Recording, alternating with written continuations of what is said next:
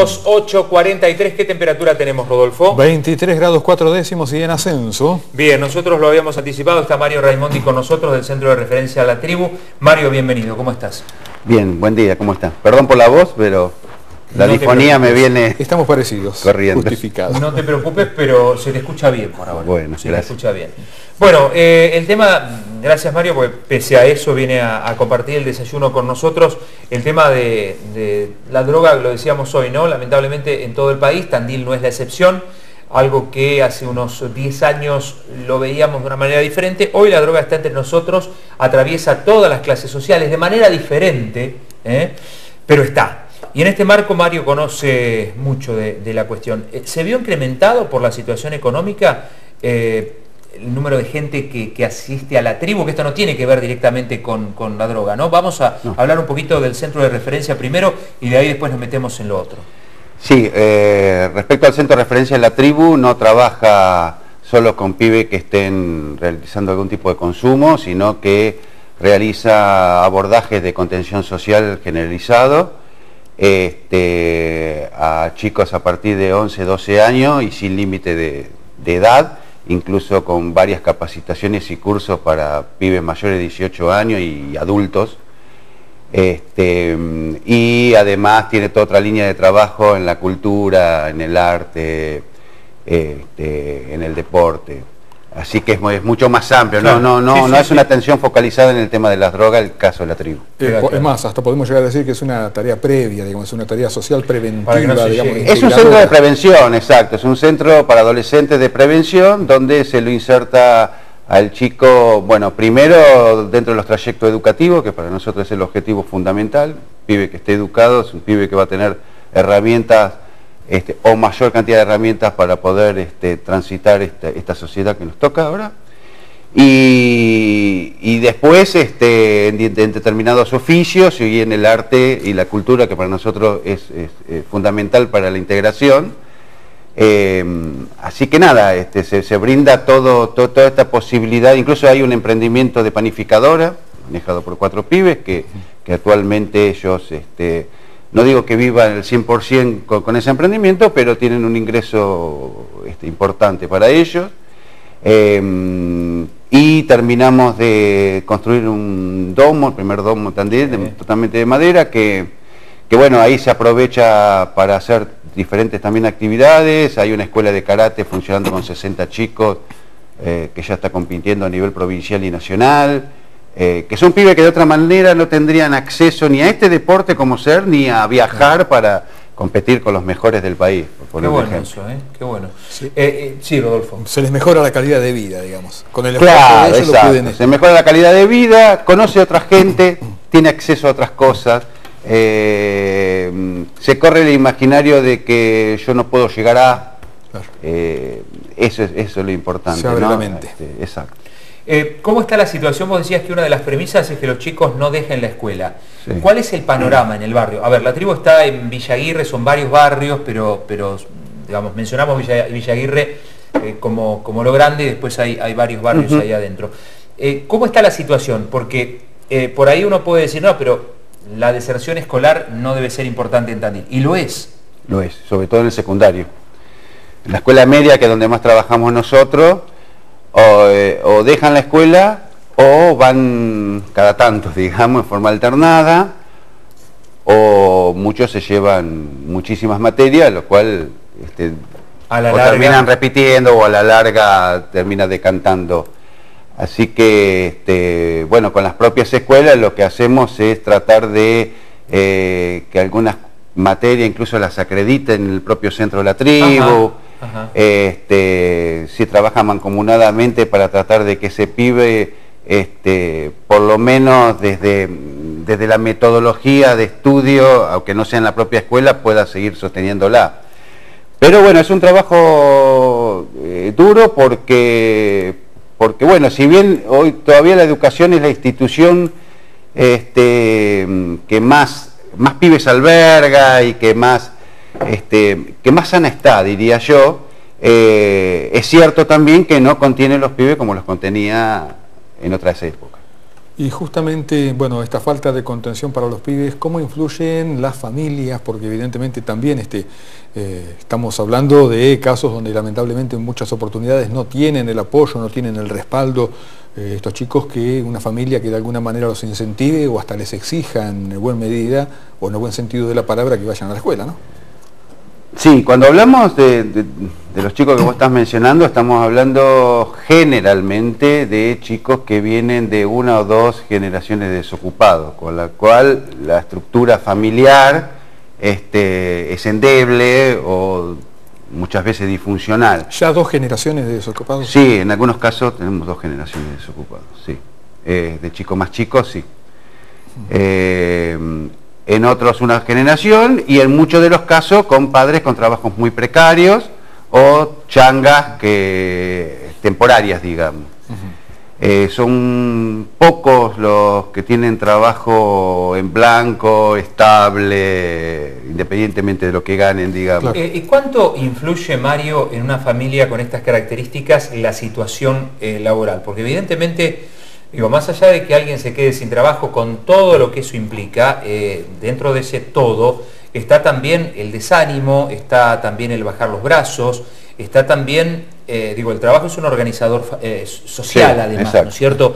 ¿Cómo influye, cómo le pega, más allá de que no tengan para comer en un caso extremo, pero cómo le influye en el chico o en el adolescente esa situación familiar? Eh, si tenés algún caso No, no, cuando los chicos entran, eh, ingresan a la tribu o al hogar Los Peques, que es otro de los hogares donde trabajamos, eh, la primera tarea nuestra es el trabajo de encuadre del chico. Esto es ¿Qué es fijar pautas mínimas sociales. ¿A qué hora se come? ¿A qué hora más o menos se acuesta? Eh, qué son las cuatro comidas diarias, cosas muy básicas. Pero cómo se hace, lo que es la higiene. ¿Cómo se hace cuando eso viene justamente complicado, no? Sin posibilidad de hacerlo en la casa. Eh, comidas. Sí, sin posibilidad de hacerlo en la casa. Cuando eh, existe total imposibilidad en la casa, lo que hacemos es este, también trabajar con los padres y también brindarle no solo asesoramiento, sino alguna apoyatura de tipo económica para que esto eh, en la medida de lo posible se pueda ir realizando, que el chico pueda tener estas cuestiones de pautas mínimas que le permiten luego la socialización este, con, el resto. Porque sin esto ya arrancamos como muy atravesado, muy a contramano de, ¿no? Un chico que le da lo mismo levantarse, a los chicos, a los padres, ¿eh? a las 8 de la mañana que a las 12 y media porque no tiene una obligación específica, o acostarse a las 23 horas o a las 4 de la mañana, este, o tomar alcohol hasta a las 8 de la noche o a las 3 de la tarde, digo, ah, eso ah, eh, implica una disrupción con, con el resto. chico se le vuela la cabeza, digamos, eh, imposible poder ordenarse. Claro, es como que vas a contramano de y te cuesta mucho insertarte eh, en otros grupos más allá de tu inserción propia en los grupos que están en la misma que la tuya. Entonces empieza como a conformarse círculos viciosos donde todos están, comillas, un poco en, la misma. Y no estoy hablando de pibes malos, pibes buenos, regulares, estoy hablando de un contexto social que va delimitando y fijando determinadas pautas que, bueno, que se empiezan a tomar como, como normales. E incluso es en los padres, muchos padres. Qué cosa, ¿eh? Eh, y acá, ¿cómo entra el tema del consumo de droga? ¿Es consecuencia directo de o no? ¿Viene por otro lado? No, a mi criterio. Sí, sí, ¿qué es lo Para mí el tema de la droga es mucho más amplio eh, que, específicamente lo que estamos hablando de estos chicos. Eh, y acá, permitidme decir que para mí hay una como una banalización y una minimización de, en el discurso sobre las drogas y una falta de toma de conciencia social de, la situación de las drogas en Tandil, de las causas que eso tiene en la salud personal y en las consecuencias sociales que va teniendo. Y esto va para las clases altas, para las medias, para las bajas, para, para nuestros hijos, este, porque, porque la droga, si bien la situación económica incide y facilita determinadas cuestiones, y después podemos explicarla en qué concretamente, eh, nosotros venimos, hay, hay, varios que venimos diciendo desde hace muchos años que eh, la droga está penetrando en Tandil y cómo penetra y cómo se distribuye. Lo has dicho acá desde que yo recuerdo. De los, famosos agujeros en la red que hablábamos. Sí, sí, sí. Digo, y también lo ha dicho otras instituciones como Granja Los Pibes, y también lo, lo, dijo un cura, este, y más allá de eh, si uno nos cree o no la, la verosimilitud, eh, es que no, no, se toma esto como para decir, bueno, está pasando, vamos a ver qué... Porque hay una, esta cuestión de que, este, bueno, que la droga en Tandil es solamente para estos pibes, o sea, para grupos este, marginales, o para gente poderosa, lo cual es intocable. Lo que para mí todavía no está entendido es que la droga este, se distribuye eh, eh, en todos los sectores sociales de los pibes. Por ahí una importante diferencia es la calidad del consumo de los pibes que tienen este, mayor acercamiento, mayor nivel económico, por un lado, y que consumen en lugares más cerrados, cerrados o semipúblicos, lo cual no está a la vista de todo el mundo. Y los pibes eh, que nosotros trabajamos, básicamente, eh, el consumo lo hacen en la vía pública, lo hacen con droga de pésima calidad, eh, con lo cual los parte al medio, y que las consecuencias muchas veces, las consecuencias sociales, por la falta de, economía, por el hambre, porque no tienen laburo, este, porque necesitan del consumo, porque también está esta banalización de que hay que consumir todo lo que venga. Bueno, este, el consumo de droga a, partir de esto deriva muchas veces en delito. Correcto. Pero no es que no suceda en la... No, no, está claro. Yo cuando me presentaba antes de, arrancar decía eso, digo, es algo que atraviesa todas las clases sociales. El problema son las particularidades que a la clase baja le cuesta más salir porque le, faltan recursos económicos, de contacto, de lo que sea, eh, y una situación diferente desde ese punto de vista. A veces uno escucha situaciones, por ejemplo, del Gran Buenos Aires, donde bueno, el, delito está motivado por conseguir dinero para comprar droga, o donde la droga aparece hasta en los baños de las escuelas, por decir algo. ¿Hasta dónde estamos aquí en Tandil? De lo que nosotros hemos visto... Eh, la droga se distribuye en plazas de Tandil, se distribuye en algunos puntos este, estratégicos de 3, 4 barrios tandilenses, eh, que mucha de esa droga entra de la ciudad de Mar del Plata, que mm, este, los pibes eh, en principio empiezan a consumir y muchos de ellos entran en, como en una bolsa de laburo respecto a esto se convierten en, Soldaditos. en pequeños, este, en pequeños este, distribuidores, por llamarlo de alguna manera. Eh, la paga puede ser a través de más droga para consumo personal o puede ser este, un poco de, dinero como para solventar algunas cuestiones. Eh, esto sucede, hasta ahí estamos. Hay escuelas, me consta, porque hemos hablado con directores o directoras que han tenido problemas dentro de la escuela con el tema de la droga. ¿De la distribución o, este, chicos que van? De chicos que, este, han que consumen dentro de la escuela y también en una de las escuelas de este, distribución en la puerta o en la esquina de, la propia escuela. Eh, esto sí ha, pasado y pasa. Eh, y bueno, eh, lo que pasa es que la atención de la droga en Tandil, o el abordaje, mejor dicho, de la droga en Tandil, a mi criterio, se hace en forma o focalizada o voluntaria. Digo, eh, el CPA, que es una de las instituciones como ser, trabaja en forma voluntaria en el sentido de que va allí este, generalmente aquel que quiere curarse. Este, y bueno, no todos tienen esa voluntad de curarse. ¿Y sale a buscar a esa gente que quiere o que necesitaría Digamos que, por ello no voy a hablar del trabajo del CPA, eh, eh, digo, sale a hacer charlas, sale a a, que se tome conciencia de la situación y del consumo de sustancias problemáticas y después la persona va, se acerca al CPA voluntariamente. Correcto.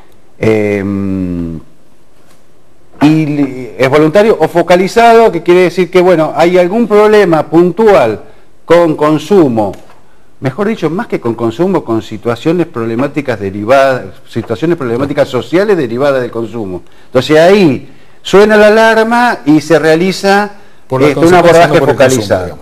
y después se pasa por, por otro lado. Claro.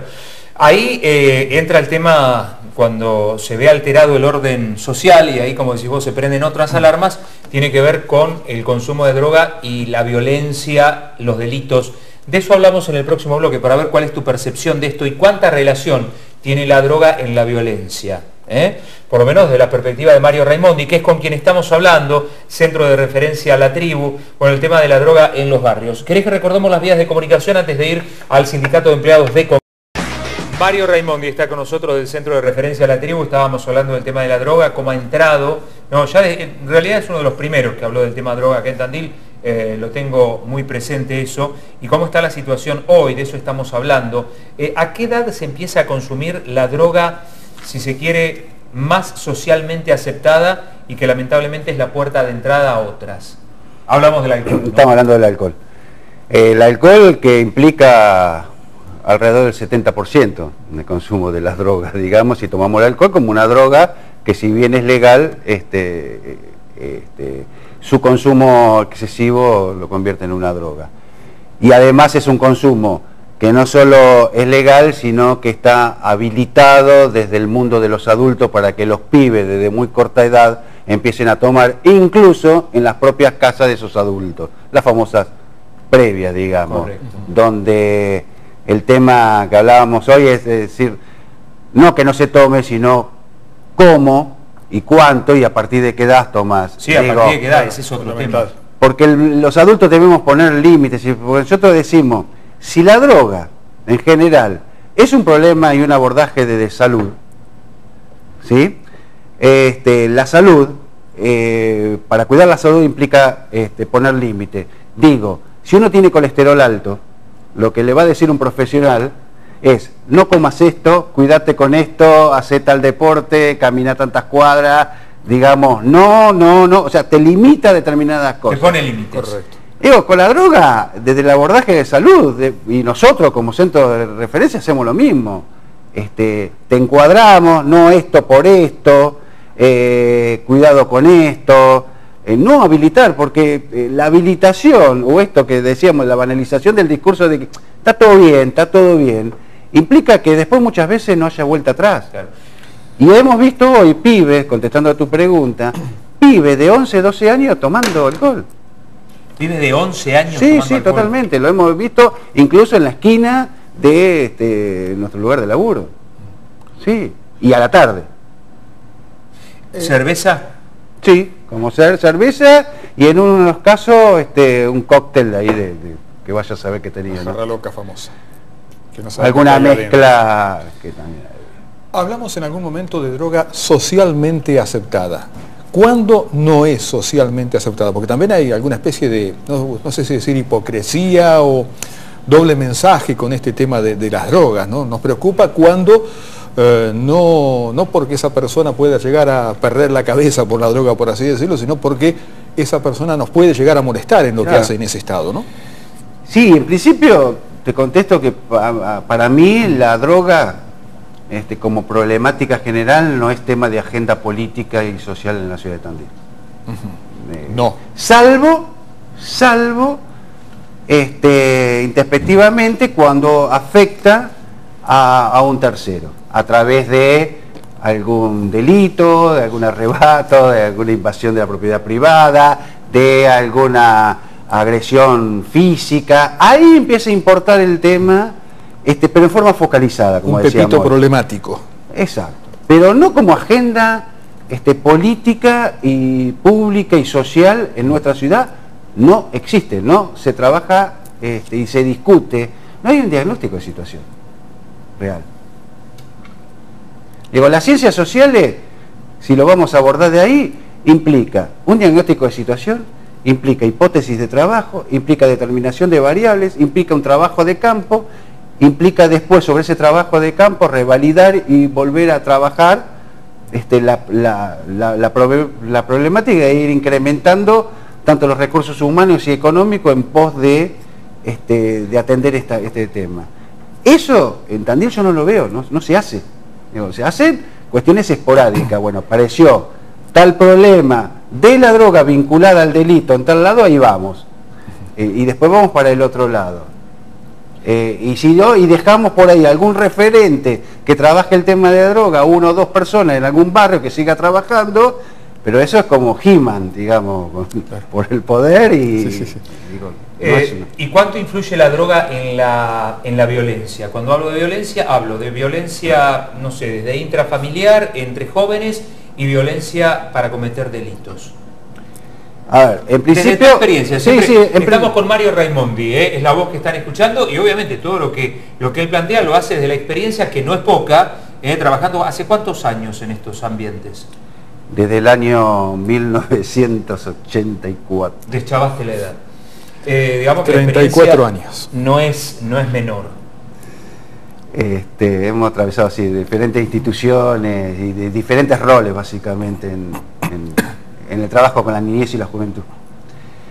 Eh, respecto a lo que me preguntabas, eh, yo lo enmarco un poco más amplio del tema. Para mí estamos viviendo en una sociedad violenta, donde somos violentos desde manejar un auto este, a dirigirnos a un tercero para cualquier cosa, a pedirle algo a un empleado público, a cómo me contesta el empleado público, a, digo, vivimos este, cuando nos paramos en un semáforo, vivimos en una sociedad donde somos intolerantes, eh, donde la crisis económica, por supuesto, exacerba, exacerba esto porque nos pone más nerviosos este, y esto hace que reaccionemos más violentamente. Eso como contexto. Por supuesto que este, en la medida que yo tenga algún aditivo, este, haya consumido droga, los umbrales de inhibición se, reducen, se exacerban este, algunas características mías que, por ahí las tengo como controladas mientras esté bien de salud, eh, y potencia, eh, me potencia este, seguramente más agresivamente y puedo llegar a cometer eh, algunos hechos de violencia. Ahora, me niego a considerar que haya una relación estrechamente directa entre el consumo de la droga y la violencia y el delito como única, digamos, como único camino.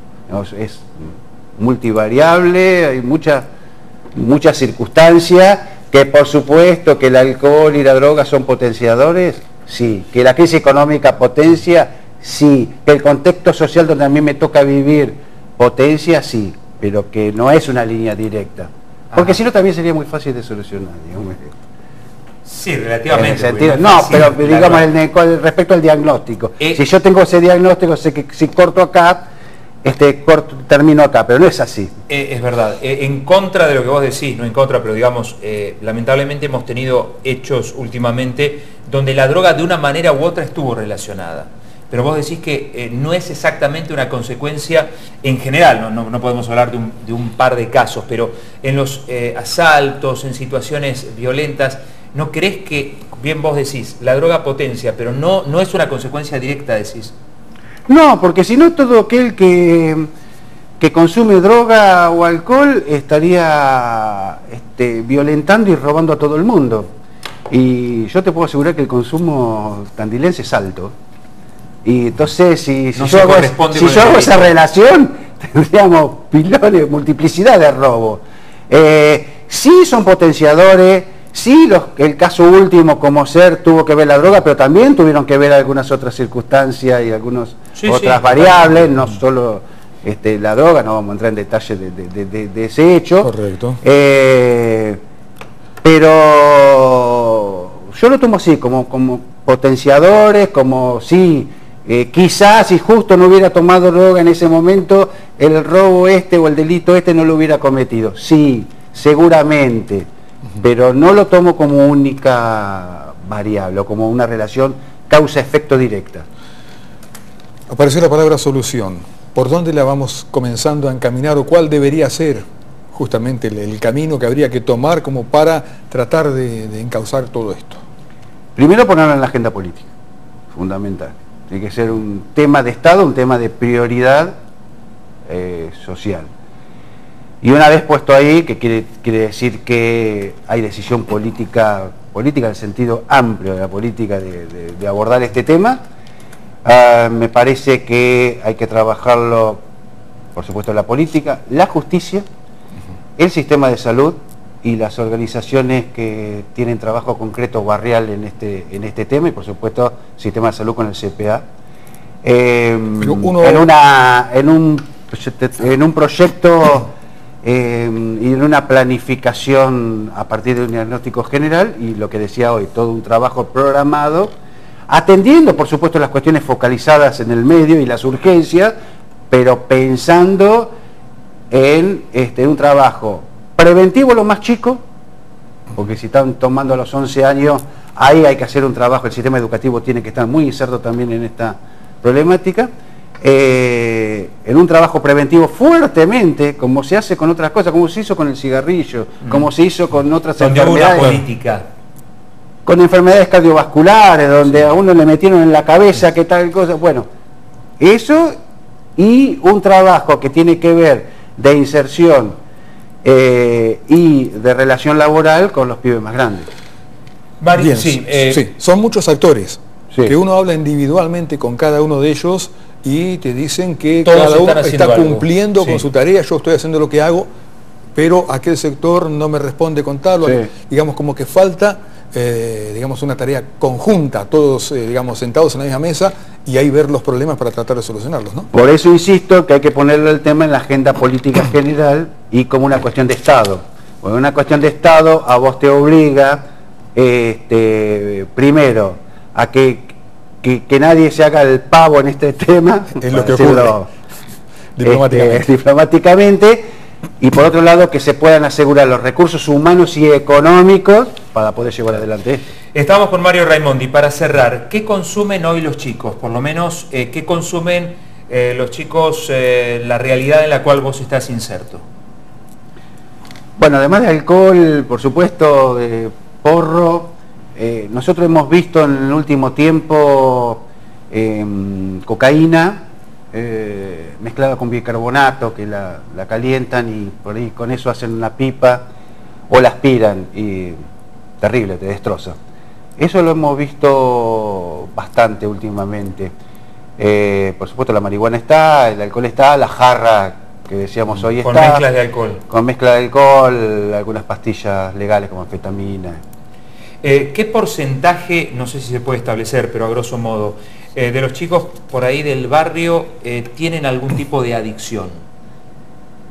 ¿Se puede establecer? Porcentaje no, yo no, yo no, no, no, te lo puedo decir porque no, no existe, vuelvo a insistir, no existe un diagnóstico y no existe un trabajo ni siquiera barrial para decir, bueno, de la población de... No se sabe cuántos pibes hay en el barrio primero. Claro. claro. Eh, ¿Cuántos van a la escuela de ese barrio? de esos, bueno, cuántos consumen, cuánto hacen deporte, cuánto no. hay que empezar de ahí. Eh, así que no, no, no, no te lo digo, no te lo puedo contestar. Sé que se está incrementando, no por una cuestión estadística, se está incrementando por una cuestión de que eh, por los pibes que recibimos. O se acercan y vemos que más que antes están comprometidos con el tema de la droga.